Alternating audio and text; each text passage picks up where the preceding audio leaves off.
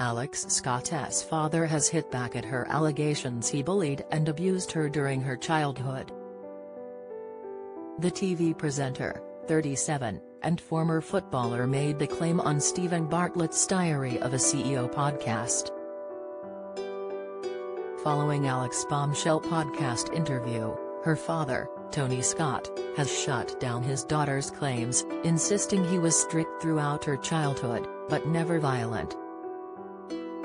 Alex, who has written a memoir How Not to Be Strong, explained despite feeling love for her father, she felt locked in at home due to the toxic environment. Recalling a birthday party during which she said everyone was enjoying themselves, Alex broke down as she said her father had become violent later on in the evening. Explaining her mum was in the middle of a conversation when her dad asked her to get him a drink, she said, my mum said no, you get your lemonade, but then it was was that icy tone as he repeated it. Straight away, I know what's coming. As soon as everybody leaves that night, he doesn't forget, so then we all know what's going to happen. That was the hardest night. My mum is trying to survive for her kids and then I'm in a room listening to everything go on and just hoping she's alive. But she doesn't know what me and brother are doing or feeling until she's read the book. Alex said her father told her she wasn't allowed to hug her mum after the incident, saying she grew up in an environment where showing signs of affection was deemed weak. The star also claimed she and her brother never discussed their home life because they weren't allowed to speak until they were spoken to. Alex called her father a controlling and violent who was stupidly cruel throughout her childhood, but speaking to Mail Online, Tony Scott, 63 vehemently denied the allegations and said he could not understand why Alex would portray in in such a bad light. I have no idea why she's saying all this stuff. I was raised in a strict but loving Jamaican family and Alex should know what they are like. I taught her discipline, I did a lot to help her, Alex's father told the publication.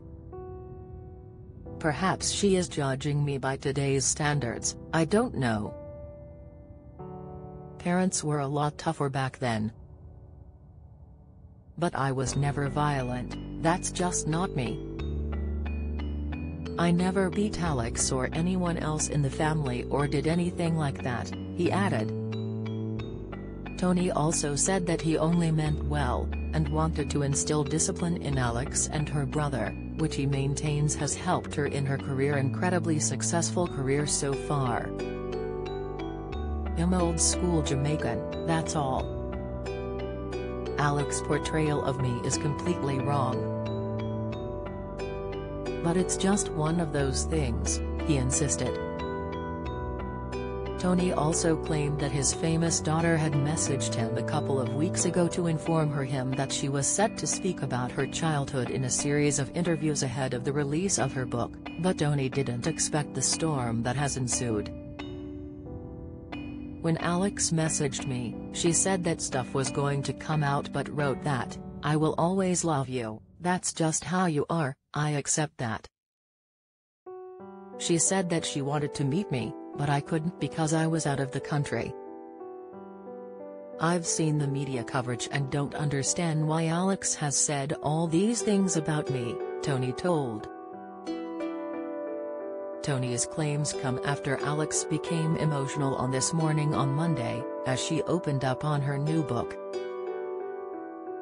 Alex explained her emotions, telling hosts Holly Willoughby and Philip Schofield, you know what, the hard thing as well as I didn't do it, I didn't write that part to shame my dad. I wanted my mom to be free. She still thinks she's a coward, and she's anything but, she is an incredible woman. The Mirror has reached out to Alex representatives for further comment on this story.